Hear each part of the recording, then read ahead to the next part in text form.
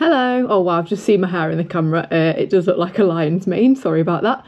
Um, I've just finished work for the day. This isn't my normal work attire, but I have been working from home, so I just thought whack a hoodie on and feel comfortable. Why not? Um, so today I'm not cycling. I'm actually going on a run, and I'm on week 14 of getting back into running. So when I did Paris Brest Paris, which is a long distance bike ride, back in August, I got an Achilles injury, and I couldn't run anymore. So I had to have three months off running. About I think anyway, I started running again at the end of October. But I think the, the break from running kind of did me good because it kind of made me reevaluate why I run and whether I even want to run. And yeah, so a bit of a history of my running. Basically, I used to run a lot more before I started cycling. So I started cycling in 2021. Um, and I kind of le- left my running to the side a bit. But before I started cycling, I used to run a lot of times a week. I don't even know how many times, but it was basically when I was struggling a lot with an eating disorder, which I struggled with from I'd say maybe the age of 20. It got really bad. Maybe the age of 18 actually. Whenever I was at uni. I think I was at uni when I was 18. I don't even know.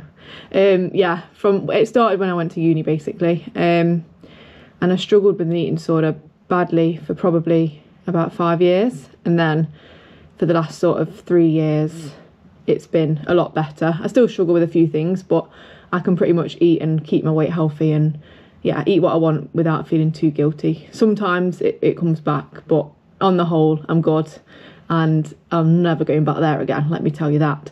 Um, but when I struggled with an eating disorder, running became a way of like punishing myself and I used to hate every run I went on. I used to be forcing myself to go and tell myself like if I don't run, I can't eat this or you can only eat this if you run this amount or you've got to go this fast and I used to just drag myself out running and absolutely hate it and just yeah, it was just awful and um, I did the Great North Run actually twice. The first time round was when I was really ill and I hated it and then and I didn't get a very good time and just spent the whole time just feeling dizzy and horrible. And then the second time around I did it, I was in a much better place. I still wasn't 100% there, but I enjoyed it a lot more.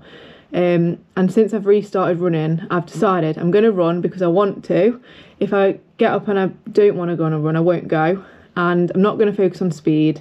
I'm just going to focus on enjoying it and doing it because I did used to enjoy running before I had an eating disorder and there have been runs where I've really enjoyed it. So I just want to get a healthy relationship with running, and this is like another step forward in my sort of recovery from an eating disorder, I'd say, and just yeah. So I just want to do it for fitness. I want to see how far I can go in terms of distance because the furthest I've ever run is a half marathon, um, Great North Run, which is absolutely great. Um, so we'll see if I can go any further. But the only problem with me is I always tend to get like a bit of a hip injury or a knee injury. So I'm taking it slow this time, so I've built up really well. I say I've taken it slow, but I did do 10 miles at the weekend. Um, I'm not very good at taking things slow, but for the first six weeks of my 14 weeks into running, I just did walk and run. So I like started off the first week, I just walked for a minute, ran for a minute, walked for a minute, run for a minute. I get confused. Anyway, walk, run um, for like literally just 10 minutes and then did 20 minutes, 30 minutes. I didn't film any of it because I just wanted to go and do it without the camera, but I think if it helps anyone to encourage them to go running and just enjoy it and not put your pressure on yourself and you know go out running without makeup on and don't worry what you're wearing and just go out and blooming do it. I mean i can't i will be honest like you don't go out and enjoy every run because running is hard. Like compared to cycling i think running is a lot harder. I don't know what you guys think but for me i find running harder. Um, but it is easy like just to put your trainers on and go. So that's what i love about it. And I will say though, hand on heart, cycling is the one for me. I mean, you can just see so much more, but I think it's nice to have a mixture and not just be set on one thing. So yeah, I'm going to run for enjoyment. I'm not going to let any eating sort of thoughts come back in. I've just had a snack actually a minute ago. I had a peanut butter pitta and a pear. Very random, but that's what I fancied.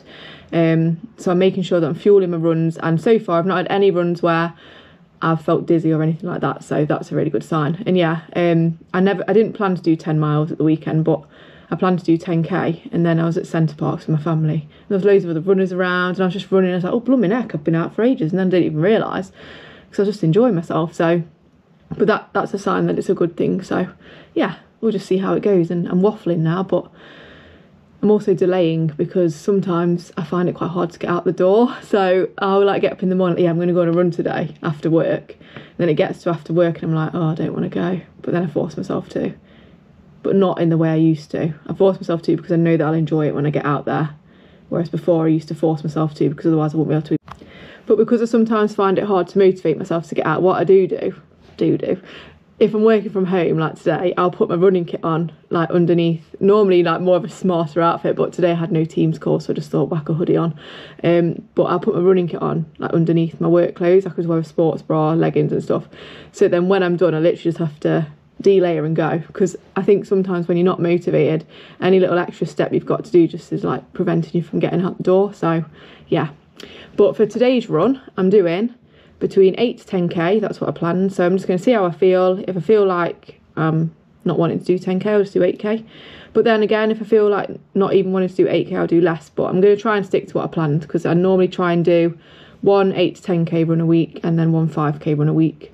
And then i'm hopefully going to build that a little bit because i think this year i do want to do a half marathon again. So i've got to find one to enter when i'm actually free and when I'm not, I'm not riding my bike. I dragged myself downstairs. The lion's mane has been tamed partially um, and it's time to go running.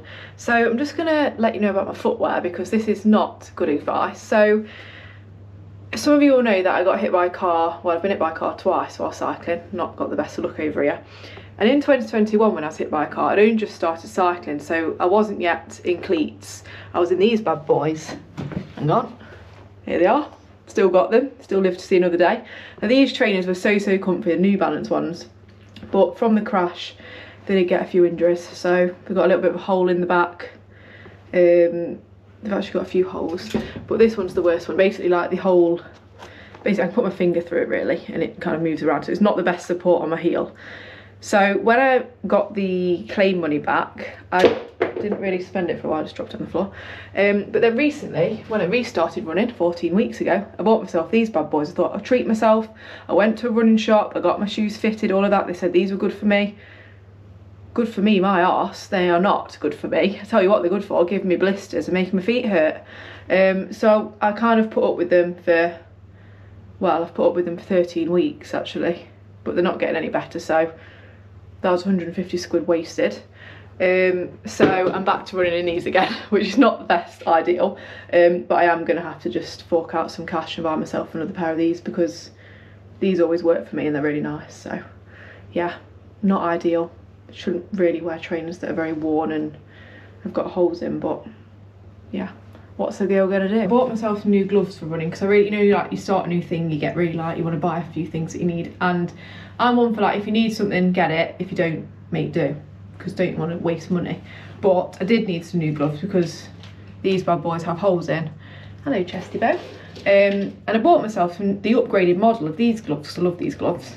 And I've lost them. I don't know what I've done with them. They're somewhere in the house, but I'm not faffing around looking for them now because it's going to get dark outside. So these are going on. And then it is cold, so I'm putting my cycling neck warmer on just to remind myself I'm still a cyclist, really. Sometimes I take Chester with me. Here he is. But he's not coming today he's had his vaccination today, haven't you? And we're meant to rest you, so not coming today. But he does like to come, and I've got a running lead that he straps around my waist so he can run next to me. I'm gonna go. The next time, Chester, you can come with me, okay? When you're all recovered from your vaccine. Good boy. Right. This is the worst bit I think about starting a run when it's cold and horrible out there and you just think, oh, I just want to stay in bed. I look like I've been dragged through a bush backwards. This is what I look like before the run. What state am I going to be in when I get back?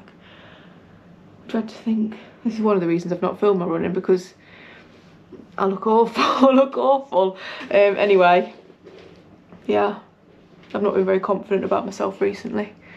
I look in the mirror and I think, blow my neck, I'm surprised I've not cracked it. Anyway, you've only got one life, so you can't let your negative thoughts rule you. That's what I have to tell myself. Let's get out and live it. Um, right, that's my motivational pep talk done, so I think I'm ready to go now. I am going to run five minutes slow to start with, and then I'll run. Yeah then I'll just run. And then I'll I always finish like five minutes from home and walk for five minutes to cool down. But I don't include that in my distance. I do include my warm up in my distance but I don't include my walk in my distance. So I'll be doing 8k plus a five minute walk. That's what I'm telling myself anyway. Right better get on with it. See you on the road just coming down the drive and this fella's got home. Oh, are they for me? Um, no. Oh, who are they for? For the grandparents are looking after Oh the... yeah, grandparents coming around for tea, aren't they? Oh, nice. Bottle of red. What have you got there? Your lunchbox? My lunchbox. and some flowers and some pudding. Pud- oh, what pudding did you get? Caramelised biscuit crumble pudding. Ooh, that looks nice. Mm. Taste the difference. Right, that's motivating me for my run even more, so I better get Mm. going. Do you want to come on a run, Kyle? Absolutely not. How many weeks did you last of running? One. I've never filmed when running before, so this is going to be a new experience. I'm just warming up. I'm going for three minutes. Feeling good. I knew that as soon as I got out the door, I'd feel good. It's just getting out the door that's the hard bit. But I'm glad I'm out now. Wish I lived more in the countryside for better views, but you know, I've got a nice path to go on in a minute, so Oh, all will be good soon. Grateful to have this track nearby to run on because it's just so much nicer than running through a housing estate. Although I do sometimes get a bit scared. I start thinking like, oh, what happens if I get abducted or something? And when I see someone like far in the distance, I'm always a bit like, Ugh, I want to turn around, but then I just tell myself, it's just my mind being silly. And yes, there are risks, but as long as you're safe, got a tracker on me on my phone, so Kyle knows where I am all the time. And I'd never come down here in the dark either, so I try and come round like just after work.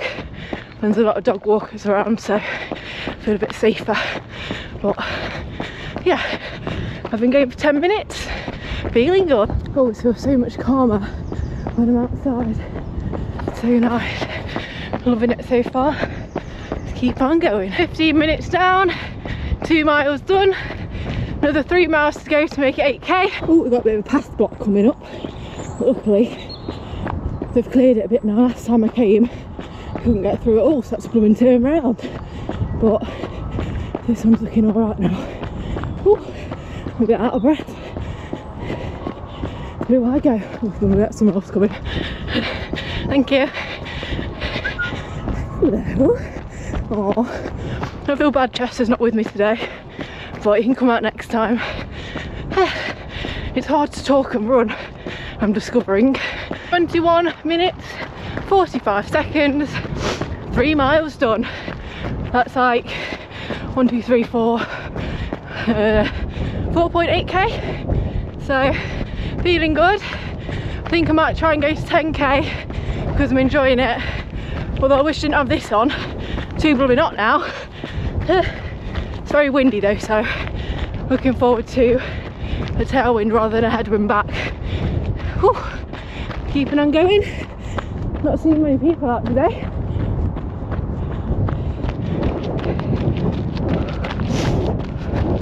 Four miles down, keeping on going. Whew. Loins are feeling good. Nose is dripping. It's a look. Running back towards home now. I've done five miles, which is eight kilometres. So just 1.25 miles to go, or two kilometres to get 10k. Let's do this. I'll tell you one thing, after sitting down all day for work, it's nice to be moving. I keep telling myself that anyway.